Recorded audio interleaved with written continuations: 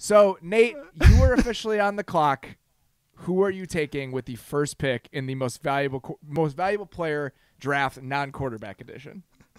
I know. With uh, uh, I, once you told us the draft order, I, I reached out to the player and signed a deal. And with the number one pick, we're going with Aaron Aaron Donald, and I am happy as can be to just have that wrap a bow on it and just move on to pick four. so was there? And I I probably would have gone the same direction if I had the number one pick as well. Is there any consideration about those factors we talked about? He's already 30. He just turned 30 over the next five years, he will make an average of $22.6 million. So you're paying high, high premiums for him. Is there anything that pushed you in possibly a different direction when you were thinking about this? Yeah, of course, of course that he is. Yeah, this year he's 30 years old, and and you don't know. I mean, he is we as as freaky as Aaron Donald is. He is an undersized defensive tackle. I mean, it is what it is. So of course that concern crossed my head and going and so I started kind of like looking at other names. There are a couple other names I kind of was like, okay, I don't want to say them right now because I don't want to give them away for you guys. But there's a couple other names I kind of was like thinking about, and then but with him it's just like, all right, don't overthink it. I mean, this guy is one of the greatest defensive players ever. Like yeah. period, period, period. Not just oh of the generation, just period, and just just that transcendent type of talent. He's he's I consider the best non quarterback in the league, and it's just you can't pay that type of guy enough. He affects so many ball plays, and yeah, we're getting him in his mid 30s. I wish I got this five years ago, but I'm still. I think if even if you get two to three, he doesn't miss time. Like he is a guy that he is so athletic. He takes care of his body. He's kind of just got those freaky traits where he stays healthy. So I do think he's going to age gracefully. Because the other underrated thing too with Aaron, because I was with him at Pitt for two years, where no one blocked him for two straight years in practice. We had to take him off, take him off the field if we had to run play action passes and spring ball and stuff, because it was like we can't practice because he blows everything up. And with him is that he's very cerebral and he is a guy, he knows what O line calls are. So when he hears rip, rip, rip, he goes, oh, well, it's pass and they're moving away from me. Or it's pat and, oh, okay, down, down, you know, okay, T, T, T. He hears these calls. By the second quarter, he's got them figured out. And that's something that's underrated with Aaron. So I think that's why, yeah, he might lose 10% of his athleticism over this time. He's so smart that he's going to overcome that and still be an extremely effective player. I think you talk saying that he's historically good. He's one of the best players ever is important because even if the gap shrinks between him and the field, it just evens the playing field. It's, it's he's so far ahead of everyone. You look at some of the numbers. I was looking at his pass rush win rate compared to his double team rate earlier today. He's in his own zip code on the chart. And it's yeah. not like he's slowing down. Last year, uh, because I that was my question when I was considering him at two. If you were going to go to a different direction, it's like, all right, is he slowing down? Is there any signs of decline? Obviously, he got hurt at the end of the year. But before that, the answer is no. He had 50 yeah. pressures between weeks 10 and 17 last year. No one else had more than 38.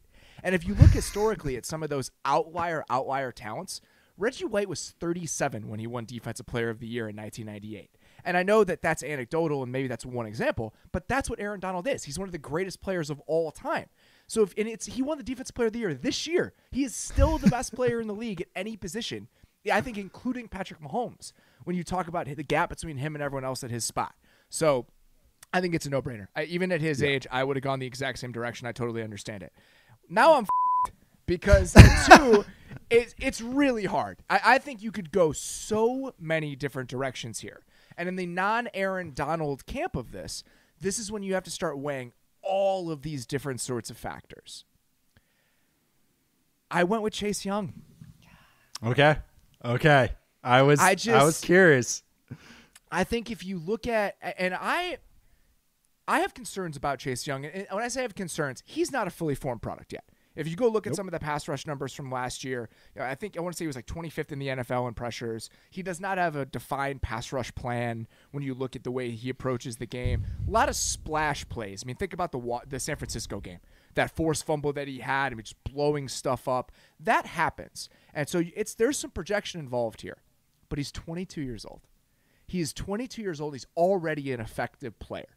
And if you look at the contract, even if you average, if you, so what I did was I did the five year average for pretty much everyone by looking at what they might make on their second contract, everything else. So Chase Young is the second pick in the draft. Is eight million this year, 9.4, 11, and then he'll probably make about 18 on his fifth year option. If you average it out over the course of the entire contract over the next five years, it's about 14.7 million. Think about what the top edge guys make. It's 25 now. So the discount you could be getting him for if as re- as soon as this year he becomes one of the best two or three edge rushers in the league, I just think that potential discount it's worth it to me. It's just worth where he might go from here, how young he is, and the fact that he's still in the early days of that rookie contract. Lindsay, what do you think about that? I mean, I would have taken him at three.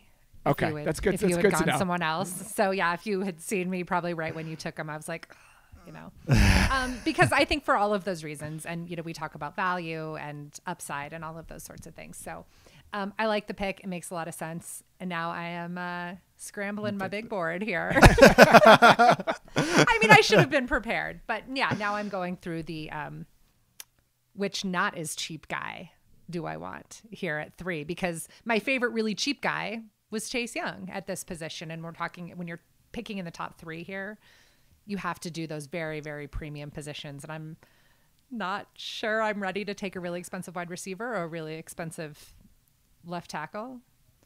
So you guys ready for my pick? I'm Do I have ready. to- We're very ready. I, I'm going to take TJ Watt. oh, wow. Okay.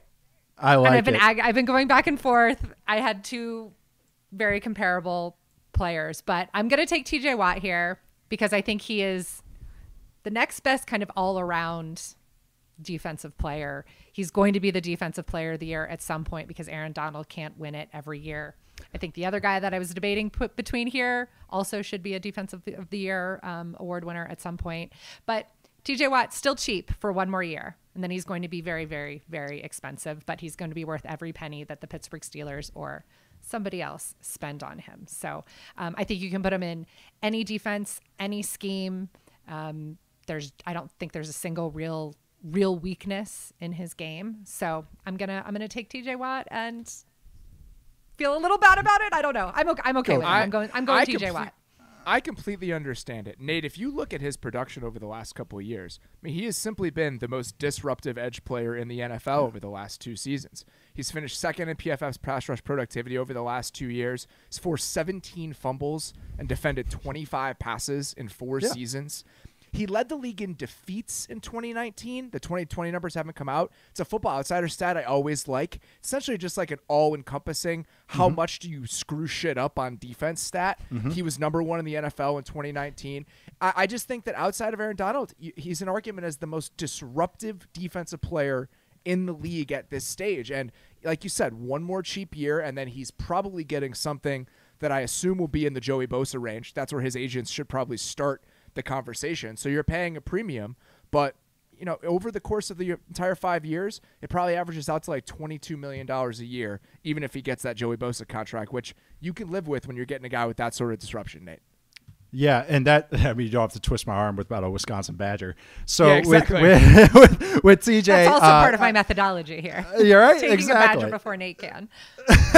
that's that's perfect. Uh, s- yeah, don't have to worry. Oh no, actually we do. Uh, but no, with with TJ, it's just I mean he is it, it's he almost gets uh, undervalued a little bit because everyone like like thinks oh it's just he only gets pub because he's JJ's brother, and I think that actually does happen a little bit is people I- I- just me don't too.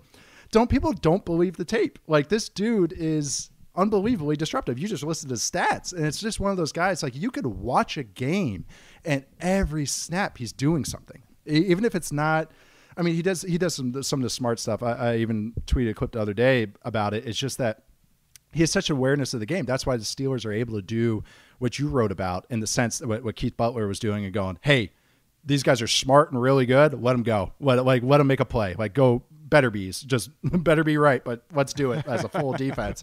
And it works because TJ Watt is that damn good. And I, I think he I mean he's smack down in his prime. I believe he's gonna be 27 this year. I mean if you're getting him for the next five years, this is nice. I, I think he's going to age well. He's an athletic guy.